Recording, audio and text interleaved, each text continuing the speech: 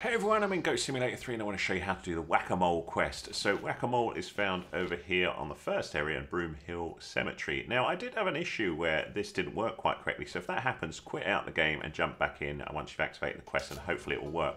Uh, but basically for me, the little dude wasn't popping up. But what you've got to be looking for is for him to be popping up like that and then butt him. And you just need to keep doing that uh, and hit him multiple times and eventually you'll complete the quest. So you can see we've got a bit of a random thing pop off there.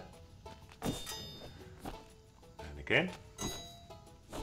So he should speed up uh, as he's doing this, and we just keep doing it until the quest completes. There he is. Oh, he's a bit quicker there, wasn't he? There he is. There he is. Oh, he's too fast. Ah! Looks a bit like Indiana Jones.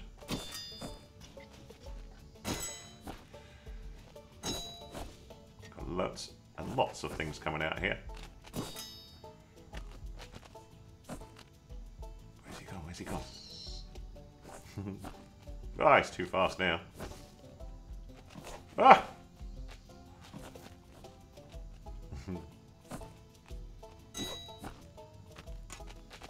oh, so fast now.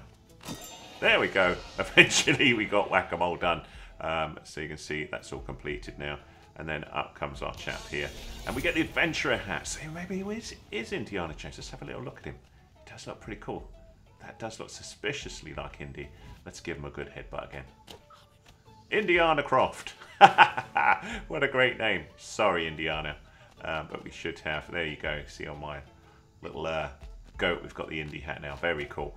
Uh, I hope you found that useful. If you did, thumbs up, please. Much appreciated. Any comments, welcome. I've got loads of quests planned for um, Goat Simulator 3. I'll put a big old playlist up at the end of this video if you like what you see. Hit that subscribe. I'll be adding more over time. Thanks so much for watching.